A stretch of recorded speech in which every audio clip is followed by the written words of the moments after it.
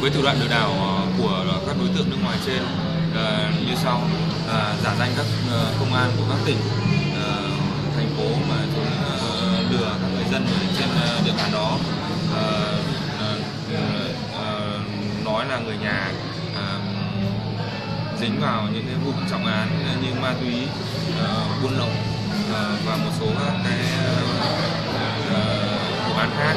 Chính vì vậy, đánh vào lòng cả tim của dân chúng ờ, nên ờ, ờ, đối tượng đã lừa được người dân nộp tiền vào tài khoản của của chúng. Sau đó chúng dùng internet chuyển tiền qua các tài khoản khác ngay trong vài phút.